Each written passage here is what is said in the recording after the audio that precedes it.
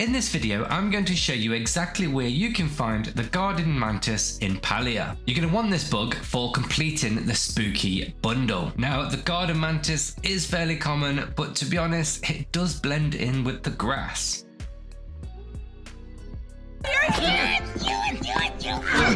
Now you'll be able to find the garden mantis around the coast of Kilima Lake, as well as the Whispering Banks, the Fisherman's Lagoon, Remembrance Beach, Gillyfin Cove, and south of Leafhopper Hills. So plenty of places.